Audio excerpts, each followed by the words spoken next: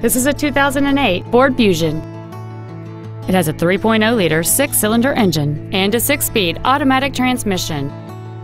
Its top features include a power driver's seat, cruise control, steering wheel mounted controls, a six-speaker audio system, a leather-wrapped steering wheel, a double wishbone independent front suspension, 17-inch wheels, an anti-lock braking system, heated side view mirrors, and this vehicle has fewer than 54,000 miles on the odometer. Please call today to reserve this vehicle for a test drive. Southwest Ford is family owned and operated since 1986.